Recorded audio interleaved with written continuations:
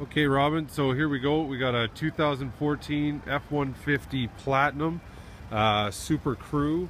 This is the one with the EcoBoost engine. So we got the 20 inch rims here. Uh, this is the short box that we have. So the five and a half foot box. Uh, here's the back end there. You can see that it is the Platinum. This is your rear view camera right here that's going to be coming out the back end. Uh, box is locked right now. Uh, this one does not have a bed liner in, however, we could put one in. Uh, silver tip exhaust for you. Uh, there is the trailer tow hitch uh, as well with the connectors, uh, rear end sensors. One, two, you got four across the back there for your parking sensors. Jumping into the back seat here, you can see, let's do that again for you with the power fold running boards. There's a little three second countdown for the power boards that are going to pop right out there for you. Uh, in the back seat, huge backspace cab. Um, the 60-40 split, so the chairs are going to pop up nice and easy. Uh, underneath the other seat there, you can see that is your upgraded subwoofer. It's got about a 700 watt subwoofer in there for you. Uh, it has the rear heated seats as well. You've got the two dials for low and for high for the rear heated seats.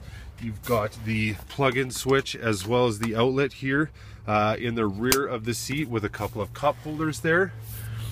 Uh, working our way into the front seat here, you got your uh, passcode lock in case you ever lock your keys in the door.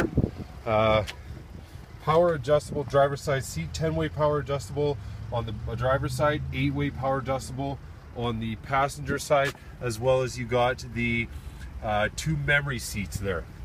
Uh, power windows, power locks, obviously you got your wood grain features along the side here. Uh, jumping in the truck, you can see right here we've got the power fold mirrors uh, to go with the truck. The two and four wheel drive options there as well as your locking differential your trailer brake control uh, temperature control media control as well as your my ford touch system.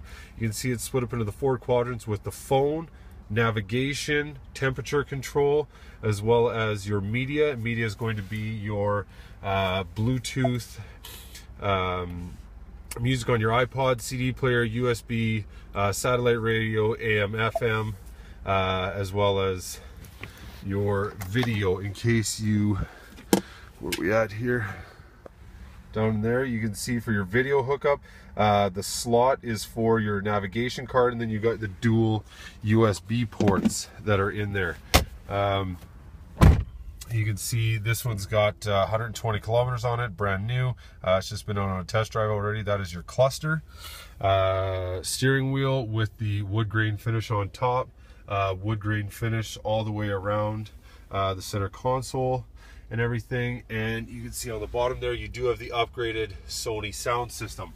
Uh, this one does come with uh, pop out there. So it has the heated seats as well as the air conditioned seats for driver and passenger side as well as the universal garage door opener for the three uh, different memories you have your moonroof, power roof, and your rear sliding window. So the uh, back window there uh, is available to slide across. You can see you've got the platinum stitching in the seats with the upgraded leather finish.